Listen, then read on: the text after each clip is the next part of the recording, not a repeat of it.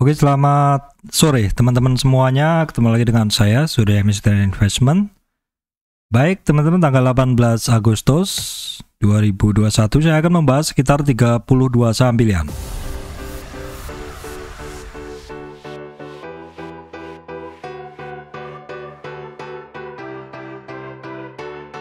Oke teman-teman sebelum masuk ke materi 32 saham pilihan, saya sampaikan informasi penting dulu untuk teman-teman semuanya bahwa saya Surya MS Retail Investment tidak terima titip dana trading. Kemudian teman-teman mesti berhati-hati adanya channel palsu, grup palsu, cloning atau fake group. Dan juga teman-teman mesti berhati-hati adanya komentar palsu di channel YouTube saya.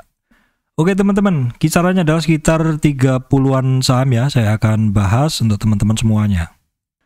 Oke, kita mulai dulu dari IHSG-nya, teman-teman. Ya, dari IHSG-nya Per hari ini tanggal 18 Agustus 2021 ISG ditutup di 6118,15,15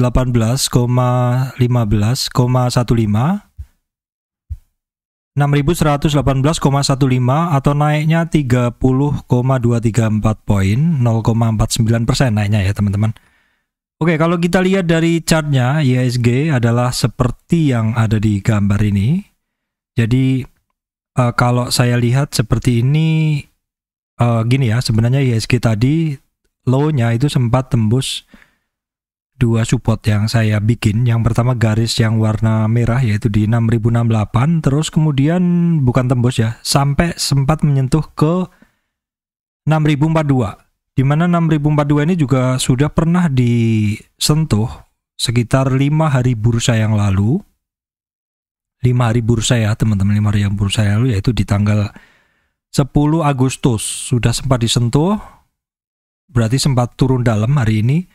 Namun demikian closingnya ini cukup cantik ya karena kembali lagi berhasil di atas 6070 dan juga tepat berada di resistan ya resistan itu di 6008 6118 ya ini tepat sekali. Berarti sekarang dia berada di support ya 6118 untuk resistan berikutnya dia ada di kalau resistan candle di 6137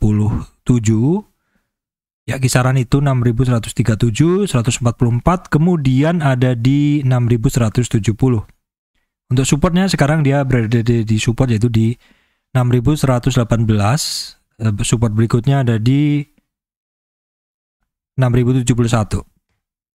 Itu untuk ISG, teman-teman kita akan tengok dulu. Ini untuk tanggal 18 nih saya udah bikinkan beberapa saham ya. Untuk tanggal 19. Untuk tanggal 19 saya udah uh, bikinkan nih ada beberapa saham. Namun kita akan tengok dulu beberapa saham kita kemarin tanggal 18 ya. Ada BBKP, HRB teman-temannya, Akra, oke, okay. ASMGR, INTP masih bagus teman-teman ya, ASMGR, INTP ini yang saya bahas kemarin, Cepin, ya oke, okay. AS Astra Internasional oke okay ya, ASA juga. Kemudian ada BRPT, lumayan ya, terus IMJS, IMJS ya, ada yang ARB, beberapa ya, ada empat ya, BBKP, BFIN, PTSN, dan Friend. Baik teman-teman, kita akan bahas satu persatu ya untuk saham-saham tersebut.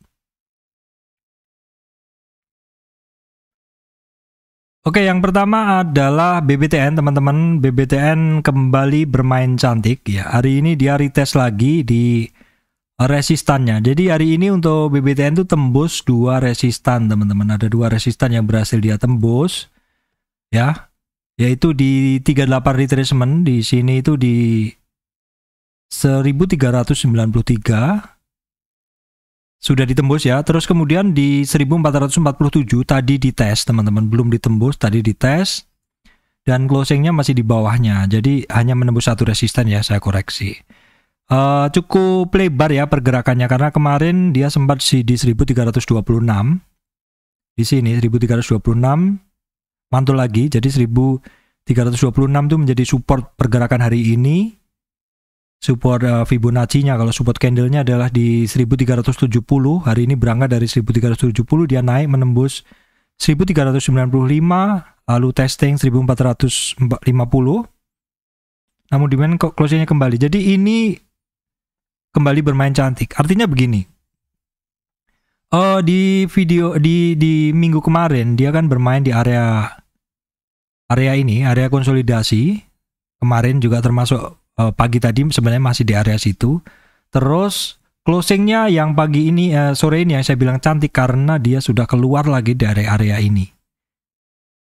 Jadi untuk besok Senin perhatikan untuk spot masih di 1395, 1395 supportnya ya. Kemudian resistan di 1450 resistan dan yang perlu diperhatikan adalah harus bisa keluar dari kisaran 1500 sampai 1530. Itu adalah untuk BBTN. Oke, teman-teman, berikutnya adalah SMGR, SMGR di video sebelumnya yang sudah saya bahas cukup sering bahwa SMGR akan bagus kalau bisa keluar dari konsolidasi blok atau area konsolidasi yang saya bikin ini, area-area ini maksudnya dan garis warna merah. Dan hari ini untuk SMGR dalam tren turun yang saya tarik ini dia sudah sampai lebih dari 50 persen trennya, tren turun ini sudah lebih dari 50 persennya. Yaitu dia berhasil menjebol 9100 resistan dan hampir menjebol resistan di 9450. Ini bagus sekali ya, serius sekali pergerakannya teman-teman. Besok kita perhatikan di 61,8 retracement ini penting sekali. Niat sekali ini barang naiknya ya. Jadi kenaikannya sudah cukup jauh ya, udah dari 7.650 sampai di 9.450 nih. Selamat teman-teman yang sudah positioning di semen. Oke, kemudian untuk INTP, Indosemen Tunggal Prakarsa, teman-teman. Sama juga, di video sebelumnya saya sampaikan bahwa ada satu area yang akan bagus sekali bagi INTP ini kalau dia bisa keluar dari situ. Dan saat ini dia baru tepat berada di atasnya sedikit teman-teman. Dalam tren turun ini dari 8706 8700 dia udah menembus 23 3850 61 pas hari ini teman-teman pas jadi untuk support ada di 11.180 resistan ada di 11.800 sangat oke okay untuk INTP baik kemudian adalah Ezadware dalam uh, tren yang saya bikin kemarin. Kemarin kan dia sempat turun terus saya lihat saya cari koreksinya. Kemarin dia koreksi sampai 38 mantul.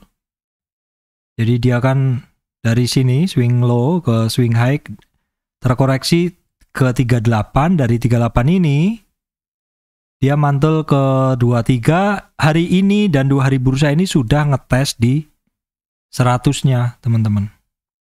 Maksud saya di nolnya, udah udah kembali lagi ke high-nya sebelumnya. Jadi ini sih oke okay ya. Jadi dia konsolidasi dalam tren naiknya ini. Jadi kenapa ini nolnya di atas? Saya cari untuk mencari koreksinya pada saat dia terkoreksi kemarin teman-teman. Tapi kalau sekarang ya ini sudah nggak nggak bisa kita gunakan lagi karena swing high-nya kan jadi di sini seperti itu. Atau kita nggak nggak gunakan aja juga nggak apa-apa seperti ini. Kalau kita cetak tarik dari tren satunya, kita lihat resistannya.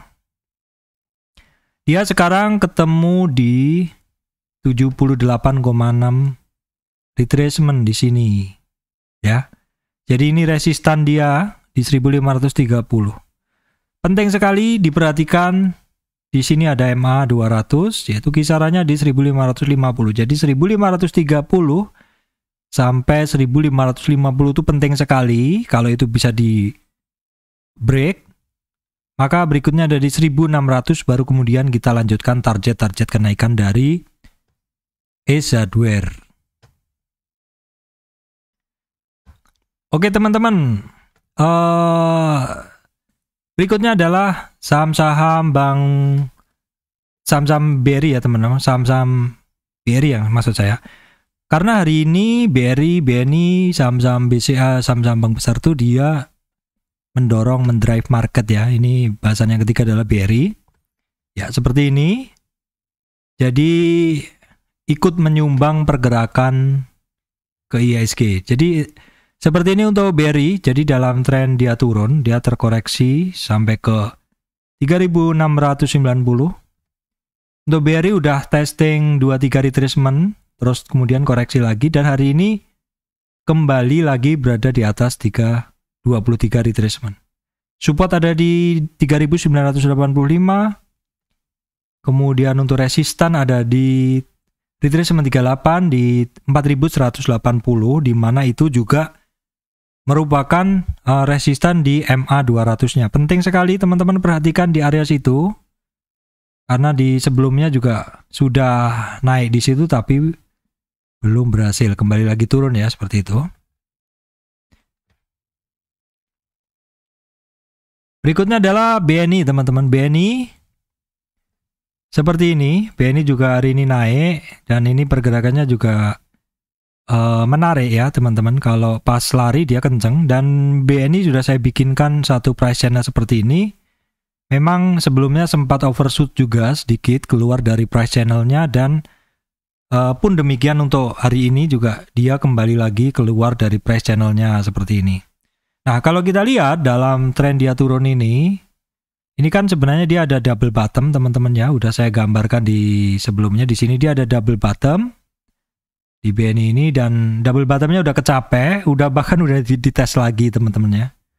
Kecape dan udah dites lagi. Yang ini kan, yang ini kan kedalamannya, kedalaman double bottomnya saya cari ke atas, targetnya udah kecape, double bottomnya di 5150, sudah retest lagi di 4850, kembali lagi naik ke atas dan kembali naik lagi. Dalam tren dia turun sampai 4570 dia sekarang udah retrace naik sampai ke hampir 78 retracement. 78, hampir 78. Jadi udah lebih kenaikannya ini udah melebihi 50% trennya sudah melewati 61,8. Bagus sekali. Untuk supportnya ada di 5300, resistan dia ada di 5500. Oke teman-teman, untuk berikutnya adalah BTPS. BTPS ini dulu sering trading dulu. Ini cukup kalau saya sih dulu sama Falan.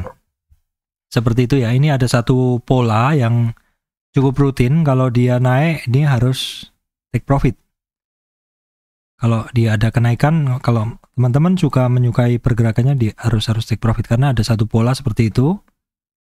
Jadi polanya ini breakoutnya dia belum uh, istilahnya boykot terus-terusan enggak. Jadi kalau dia sudah ada turning seperti ini, teman-teman harus perhatikan dalam berapa hari karena dia bisa terkoreksi. Ini dan kalau kita tarik sebenarnya ini kan dia kayak ada price channel juga sebenarnya. Price channel ada ada price channel ini nggak bisa kita tarik dari situ.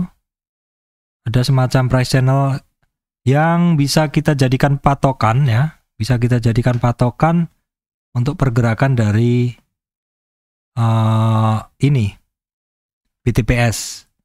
Jadi ini ada tadi yang minta dianalisa Pak, dianalisa untuk BTPS. Nah ini modelnya ya seperti ini. Kalau bagi teman-teman yang suka trading, nah ada satu price channel seperti itu. Jadi usahakan kalau membeli selalu di uh, lower band atau lower atau di support dari price channel tersebut. Nah ini kan ada satu price channel dia breakout dari price channel ini. Apakah besok lanjut? Coba kita tarik trennya dari sini. Misalkan kita hanya tarik dari tren sini. Saat ini dia dalam tren ini dari high di 4092 sampai low-nya di 2150 ya. Dia udah menembus 2-3 retracement dan hari ini hampir tembus di 38 retracement. Jadi perhatikan aja besok di 2895 sebagai resistan dan supportnya ada di 2610. Oke teman-teman berikutnya adalah saham Malindo Fitmail. Malindo Fitmail saya rasa dia dari tren turun ini dia udah mencoba naik menembus resistan 2338 dan sekarang dia berhasil di atas MA 200 berhasil di atas SMA 200 dan juga sekarang sedang ketemu resistan di 38 dan dia konsolidasi. sudah sekitar empat hari konsolidasi di situ. Kalau tidak turun lebih jauh dari sekitar 50, saya rasa masih oke. Okay. 50 retracement, jadi kalau saya tarik, itu kisarannya adalah, kalau 50 itu ya berarti kira-kira di sini, asalkan tidak turun lebih dari, asalkan tidak ke, di bawah 700 lagi, itu oke. Okay. Ya, karena 700 itu adalah di separuh tren naiknya ini teman-teman ya. Sementara dia terkonsolidasi di area 38 retracement atau di 770. Baik teman-teman berikutnya adalah uh, Java, Java seperti ini, Java Confit ya. Ini masih uh, mencoba untuk menembus MA 200-nya, moving average 200 jadi dia berada di antara 1650 sampai 1720 itu penting. Karena di atas MA eh, di atas 1650 itu di atas MA 200 dia berarti masuk bull area tetapi ketemu resistan 23,6 retracement di 1710 uh, pola pergerakannya dia higher low atau titik rendahnya dia lebih tinggi artinya ini bagus membentuk pola seperti ascending triangle dengan uh, resistannya ada di 1710. Perhatikan di 1710 untuk resistan pentingnya teman-teman ya untuk Java.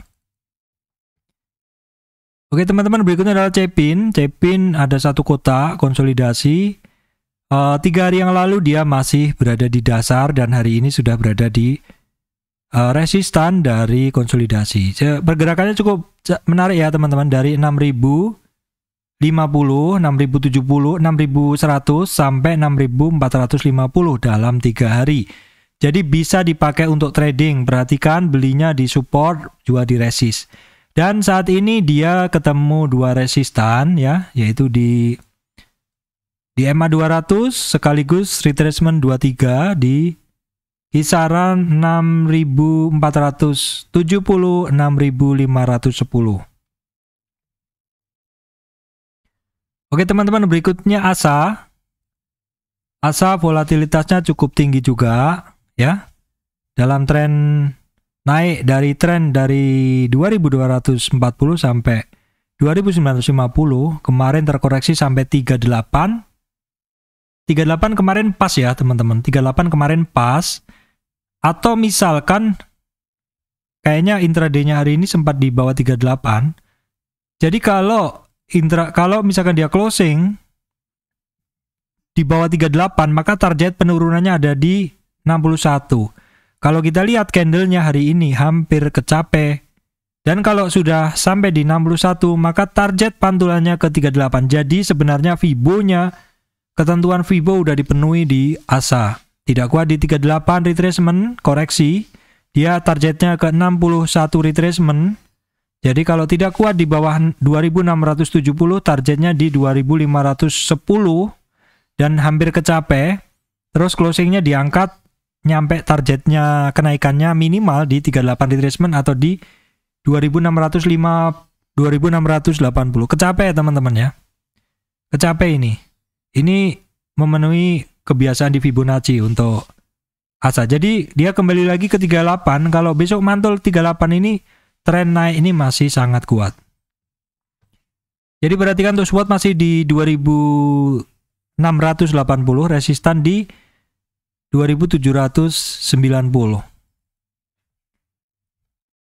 Oke teman-teman, berikutnya adalah Astra International. Dalam tren turunnya dia sampai di 4635 sudah berhasil menembus resistan pertama kalau kemarin ada garis kuning ini, garis kuning ini kemarin adalah resistan yang saya bikin yang mana ini merupakan resistan yang cukup kuat.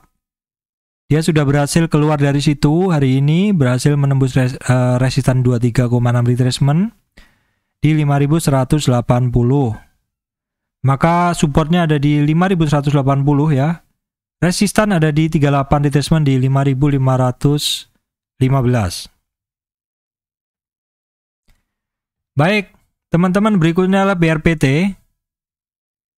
BRPT dalam tren naik ini dia terkoreksi sampai 2338 dan dia mantul dari 38 teman-teman. Mantul dari 38 lanjut lagi. Dan dia mantul dari 38 lanjut lagi ke 23 retracement di 1080 dan hampir tembus high-nya. Ini bagus sekali teman-teman bahwa dalam tren dia naik ini koreksinya dia hanya sampai 38. Artinya tren naik ini ini koreksinya hanya ringan saja. Kalau besok uh, bisa tembus di atas 1165 lanjut ke atas berarti tren naik ini masih sangat kuat. Karena mantulnya hanya di 23 dan 38 ya. Oke teman-teman ini update saya untuk friend. Friend sudah terkoreksi ekstrim. Kalau sudah terkoreksi ekstrim, ini kemarin kan saya sampaikan bahwa friend tidak kuat di 38 maka targetnya adalah di 61. Nah, perhatikan di 61 bablas itu kita hanya berserah pada price action saja, belum ada price action yang mengatakan friend menguat. Jadi ya ini istilahnya sudah masuk area yang saya lingkarin ini bisa sampai ke uh, 78 yaitu di 118 bahkan bisa sampai ke 104. Ini target-targetnya bisa ada di 118, ada di 104. Tergantung kapan nanti akan ada buyer yang mulai hajar kanan di friend, seperti itu. Saya udah clear all position untuk friend. Oke teman-teman berikutnya adalah XL. XL dalam tren dia turun.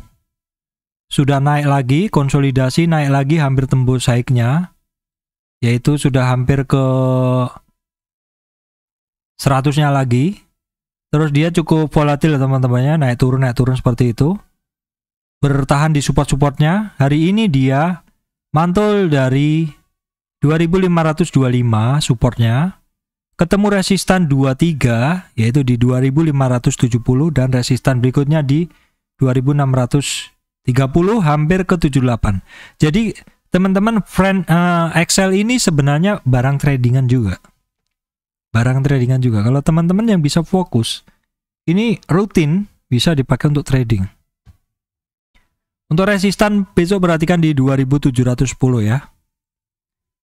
Oke teman-teman di MJS ini memang kayaknya ada something ya. Saya tidak membongkar secara news, silakan teman-teman cari sendiri. Cuman saya melihat barang tuh kalau naik beruntun ada perlawanan dan naik lagi ada something. Ada kemungkinan kemarin yang mencoba buang barang itu adalah yang mau tukar posisi aja seperti itu. Atau mungkin ketakutan. Marketnya kemarin kan banyak yang turun juga.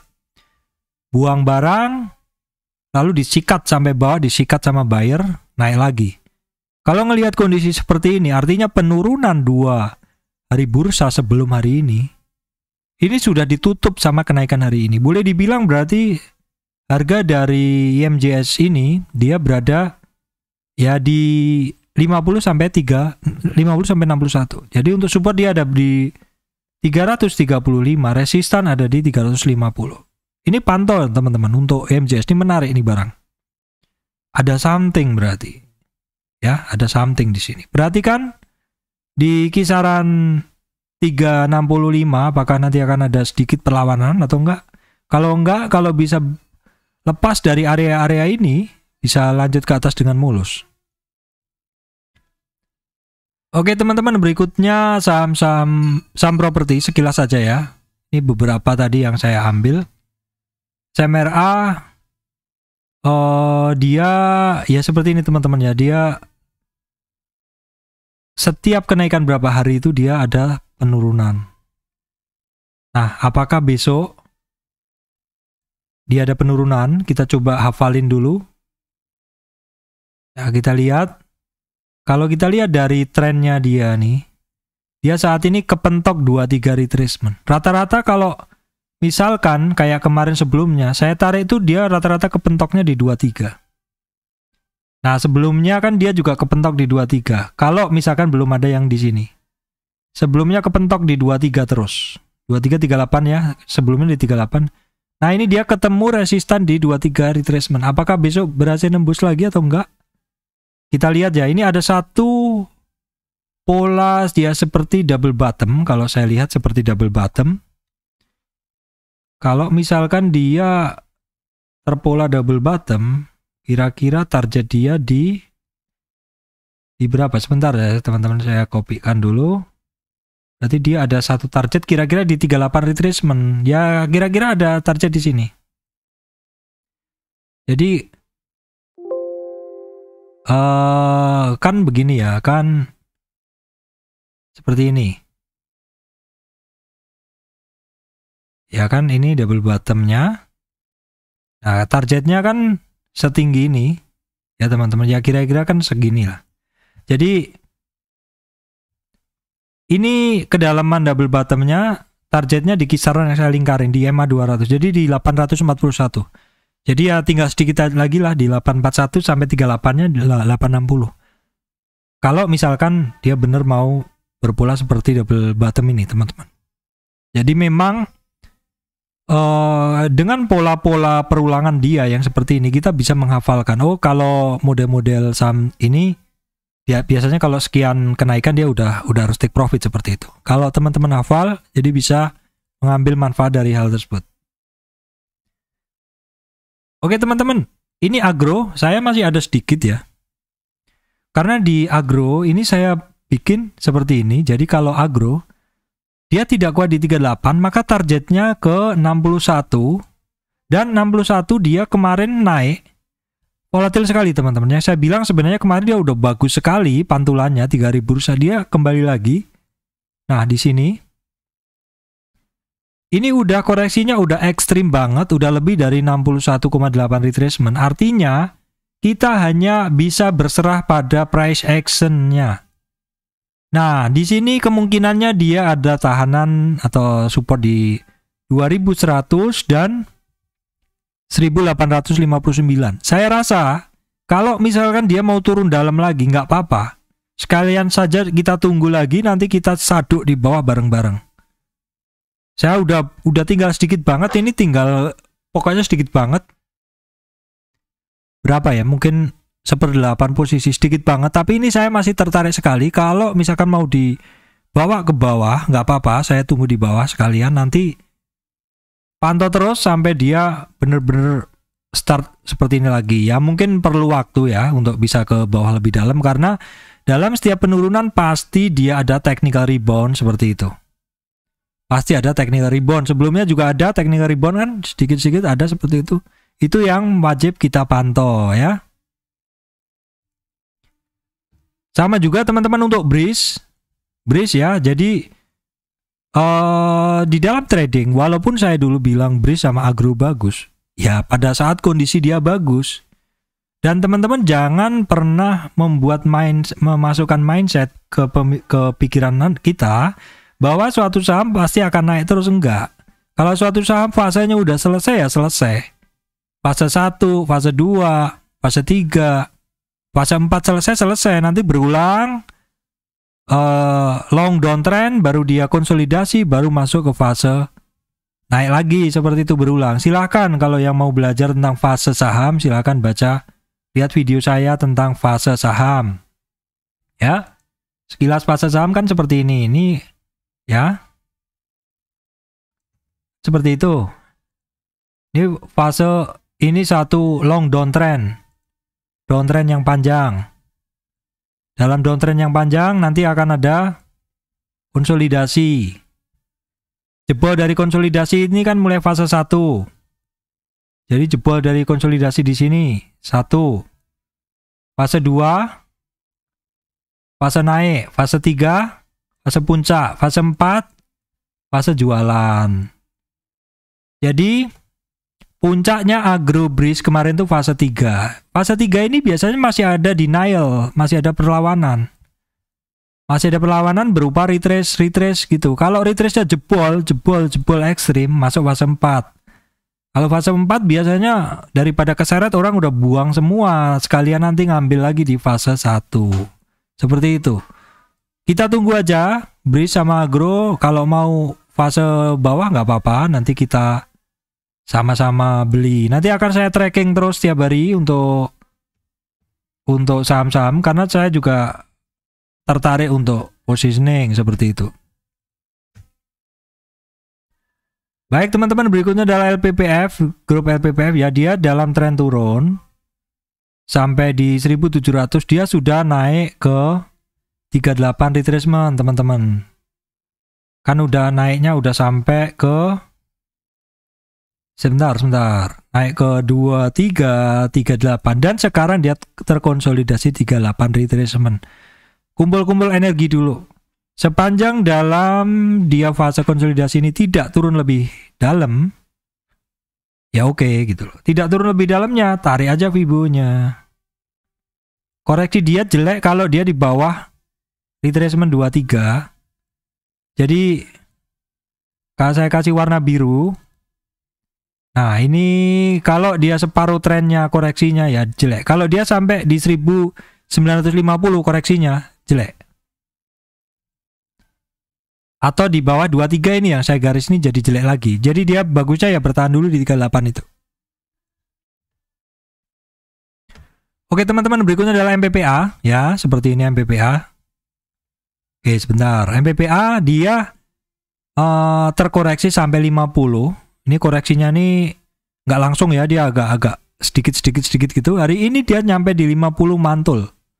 50% mantul dengan bentuk candle seperti ini Apakah 50 retracement ini akan jadi support kuatnya? Kita lihat candlenya ada rejection. 750 support resistan berikutnya, resistan uh, resistan Fibo di 875 teman-teman ya. Kalau resistan candle lihat aja candlenya di 800 di 830. Menarik bentuknya. Baik, teman-teman. Berikutnya multipolar hari ini ARB. Saya udah gak ada barang, udah uh, ekstrim. Ketika posisinya udah ekstrim, saya sudah akan uh, mode keluar dulu teman-teman ya mode keluar dulu uh, take profit juga udah ini ya udah udah udah dulu dulu cuman memang saya bahas terus karena saya tracking seperti itu jadi dia tidak kuat di 38 nyampe ke 61 61 sebenarnya kemarin bagus sekali sinyalnya ada ascending triangle jebol ascending triangle mantul dari 61 jadi dia tidak kuat awal ceritanya tidak kuat di 38 retracement di sini maka targetnya ke 61 kecapai bahkan overshoot banget sampai area yang kotak ini. Dari 61 dia naik, target kenaikannya hanya 38 dan kecapai teman-teman. Sekarang jebol lagi. Jebol sudah melebihi 50 berarti sudah ekstrim ya. Kita serahkan pada price action saja dan belum ada tanda-tanda perlawanan. Pertahanan terakhir dari tren awalnya ini hanya di 440 440 kalau misalkan besok jebol ya tinggal dicari di bawahnya aja teman-teman. Karena sudah tren yang dari tren saya ambil ini dia udah habis. Kalau dari tren ini saja dari 440 tetapi kalau teman-teman mau mencoba menarik tren yang lebih panjang bisa kita tarik tarik dengan menggunakan tren yang lebih panjang bisa seperti ini dari awal tren boleh seperti ini kalau dari awal tren di posisi harga sekarang baru nyampe 50 retracement. Nah, kita lihat aja 440 ini di break atau enggak.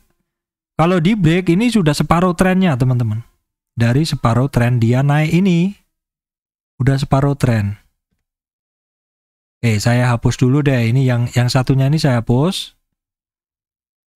Nah, seperti ini. Jadi trennya kita cari, kita pakai tren yang lebih panjang. Jadi posisi sekarang ada di 50 retracement.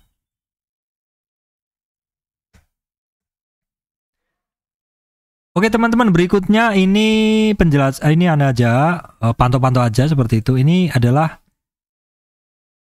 KF saat ini sudah berada di dasar. Nah ya teman-teman polanya KF itu kan seperti ini. Dia ada ada resistan di atas, ada support di bawah, kalau sudah disupport kadang mantul, tetapi belum ada tanda-tanda, ini sebatas dipantau saja dulu. Kalau enough juga sama, enough sudah mulai ada candle-candle seperti hammer. Dipantau saja teman-teman ya, karena enough KF ini biasanya bergeraknya kalau ada uh, sentimen pergerakan dari ini berita COVID seperti itu kan. Baik, teman-teman, saya rasa itu sudah sekitar 25 lebih saham yang saya bahas. Ya. Terima kasih kepada teman-teman semua yang masih setia dengan MS Trade and Investment. Salam sukses untuk teman-teman semuanya.